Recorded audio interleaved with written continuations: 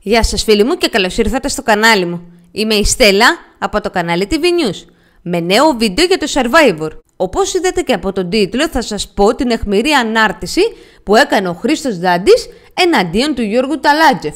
Ο Χρήστος Δάντης έκανε μία ανάρτηση μέσα από τον προσωπικό του λογαριασμό στο Instagram απαντώντας του, ενώ μάλιστα τον χαρακτήρισε χαζούλη.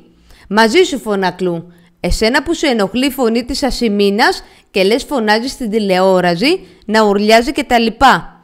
Έχεις ρωτήσει κανέναν αν μας ενοχλεί η λεπτή φωνούλα σου γραφικέ μου χαζούλη; Γιατί για να βγαίνει κάποιος ή κάποιοι επισταμένα και να μιλούν κατά ενός και μόνο ατόμου, μόνο χαζούλιδες μπορεί να είναι.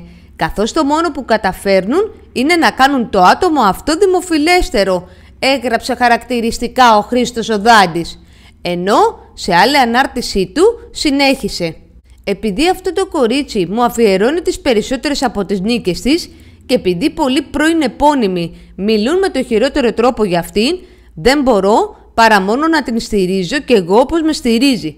Το νου σας λοιπόν επώνυμοι και stay tuned έγραψε χαρακτηριστικά στην ανάρτησή του ο Χρήστος Οδάντης.